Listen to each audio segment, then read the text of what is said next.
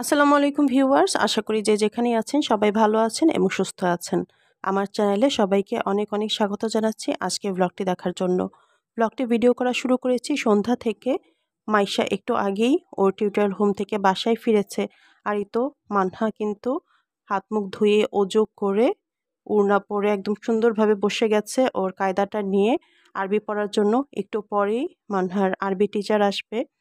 মানহার যদিও এখন ছয় বছর চলছে, কিছুদিন পরে ছয় বছর পূর্ণ হবে। তারপরে ওকে কিন্তু এখন থেকেই আরবি টিচারের কাছে পড়তে দিয়ে দিয়েছি।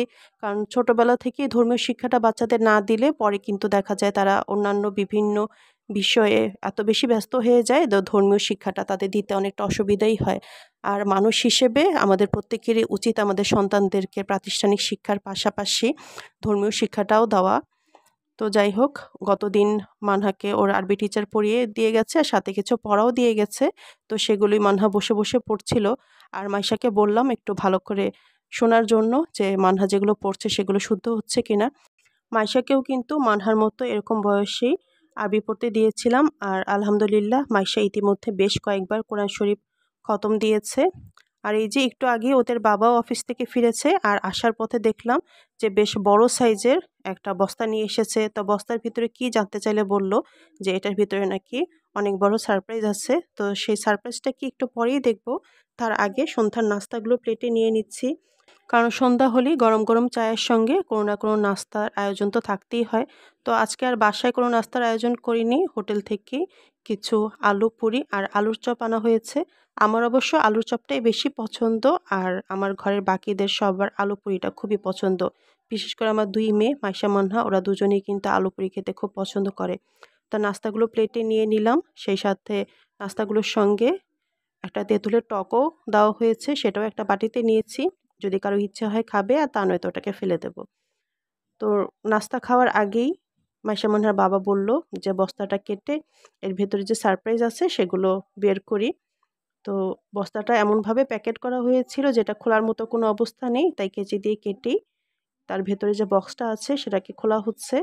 বক্সটাও কিন্তু দেখলাম যে বেশ ভালোভাবে দড়ি দিয়ে বেঁধে দেওয়া হয়েছে। আর এই তো বক্স খোলা মাত্রই। আসলেই অনেকগুলো সারপ্রাইজ বেরিয়ে এলো। ভেতর থেকে খুব সুন্দর, একদম গাছ থেকে পাড়া ফ্রেশ আমরুপালি আম দেখতে পেলাম। তা আমগুলো কিন্তু সরাসরি একদম রাজশাহী, চাঁপাইনবাবগঞ্জ থেকে আনানো হয়েছে। প্রতি বছরই আমাদের গ্রীষ্মকালে আম আনানো হয়। তো এই বছর একটু দেরিতে আম আনানো হয়েছে। প্রতি বছর আমরা আমাদের পরিচিত ফল ব্যবসায়ের মাধ্যমে আম আনাই। তবে এবছর আমের দাম একটু বেশি হওয়ায় তার সাথে আবার ট্রান্সপোর্ট কষ্ট সব মিলিয়ে আমাদের পরিচিত আম ব্যবসায়ী আমের অর্ডার গতবারের মতো নিচ্ছে না। তাই মাইশা মানহার বাবা তাদের অফিসের এক কলিগের মাধ্যমেই আমগুলো আনিয়েছে। তো আমরা কিন্তু প্রতি বছর দেখা যায় দুবার আম আনাই। প্রথমে আনাই হচ্ছে হিমসাগর, তারপরে আম্রপালি আনা হয়। তবে এই বছর আমের অর্ডার যখন দিয়েছি তখন হিমসাগর শেষ হয়ে গেছে। তাই আম্রপালি আনানো হয়েছে। আর আমগুলো যেদিন বাগানের গাছ থেকে পাড়া হয়েছে, ঠিক সেদিনই কিন্তু প্যাকেট করে আমাদের জন্য পাঠিয়ে দেওয়া হয়েছে। যার কারণে আমগুলো এখনও বেশ শক্ত আছে, সবগুলো পাকেনি। কিছু কিছু আম সবেমাত্র পাকতে শুরু করেছে। তো আমগুলোকে একে একে ঝুড়ির মধ্যে নিয়ে নিচ্ছি। তো আমগুলোকে একটু বাছাই করে নিচ্ছি। যেগুলো আকার একটু বড়, সেগুলোকে আলাদা করে রাখছি। আবার যেগুলো একটু আগে পেকে যাবে, সেগুলোকে আলাদা করে নিচ্ছি। এভাবে প্রত্যেকটা আমকে আলাদা আলাদা ঝুড়িতে নিয়ে নিচ্ছি। আর আমগুলোকে কুরিয়ার করা হয়েছিল দুই দিন আগে। তো দুই দিন বক্সে থাকার কারণে আমগুলো একদম গরম ছিল। তাই বক্স থেকে বের করে ঝুড়িতে নিয়ে সাথে সাথে এগুলোকে টেবিলে এনে ফ্যান ছেড়ে দিয়েছি যাতে সবগুলো আম ঠান্ডা হয়ে যায়। আর মাইশার বাবাকে বললাম যে, দুটো আম বাছাই করে দেওয়ার জন্য যে এখনই কেটে খাব। কারণ ফ্রেশ আম দেখে খাওয়ার লোভ কিন্তু সামলানো যায় না। আর ওইদিকে মানহার আরবি টিচার চলে এসেছে। তো মানহা তো আরবি পড়ছে। মাইশাও ওর নিজের কাজে ব্যস্ত। তাই আপাতত দুটো আম কেটে নিচ্ছি, তাহলে নাস্তার সঙ্গে আমও খাওয়া হবে। আর এত আম দেখে মনে হতে পারে যে এত আম কীভাবে খেয়ে শেষ করব। আসলে আম সবগুলো কিন্তু আমরা একাই খাব না। এর মধ্যে কিছু আম আমি আমার বাসায় পাঠাবো, সেই সাথে আমাদের আশেপাশে একদম ঘনিষ্ঠ পরিচিত জন যারা আছে তাদেরকেও কিছু দেব।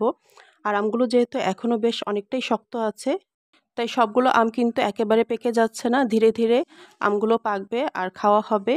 তো দেখা যায় অনেক দিন লাগিয়েই আসলে আমগুলোকে রেখে খাওয়া যায়। আর এই যে দুটো আম কেটে আমরা কিন্তু খেয়ে নিচ্ছি। বাড়ি দিয়ে দেখতে অনেকটা কাঁচা মনে হলো ভেতরে দেখলাম যে আমগুলো কিন্তু পেকে গেছে আর খেতে ভীষণই মিষ্টি। আর সত্যি বলতে আসল খাবারের স্বাদ কিন্তু আসলেই অন্যরকম হয়।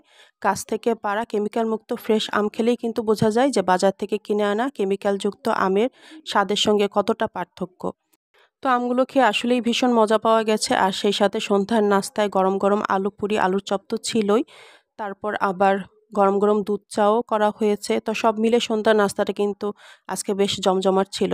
তো এই ছিল আজকে সন্ধ্যার আয়োজন। আশা করি ব্লগটা আপনাদের কাছে ভালো লেগেছে। ভালো লাগলে অবশ্যই ভিডিওতে একটা লাইক দেবেন কমেন্টস করে জানাবেন। আজকের মতো বিদায় নিচ্ছি। সবাই ভালো থাকবেন। আল্লাহ হাফেজ।